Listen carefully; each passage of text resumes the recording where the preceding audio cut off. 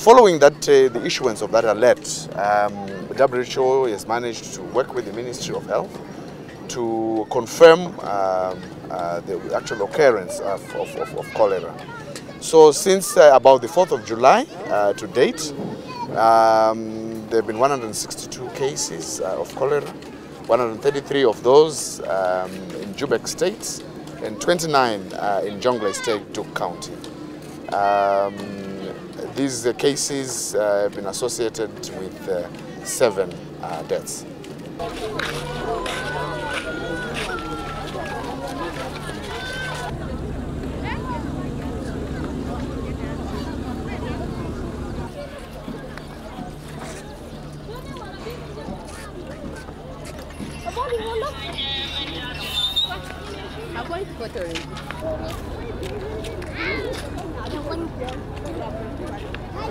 We've realized that uh, residing in uh, uh, overcrowded and uh, unhygienic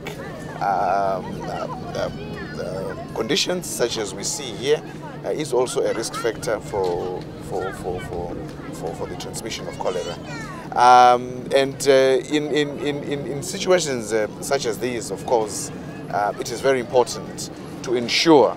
that the water that is used is safe, to ensure that uh, both solid and liquid waste are properly disposed of, and to ensure that general hygienic conditions, particularly um, the, the, the, preparation of food um, within families, uh, is done in a, in a, in a, in in a, in a, hygienic and safe way.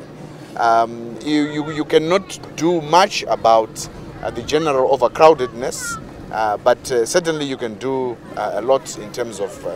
uh, personal hygiene because the cholera boils down in, in a large measure to being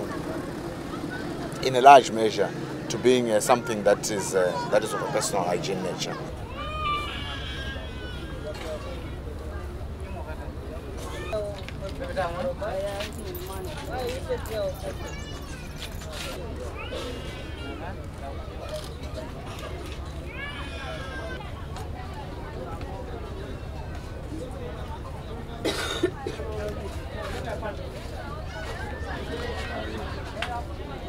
Bravo, Roma.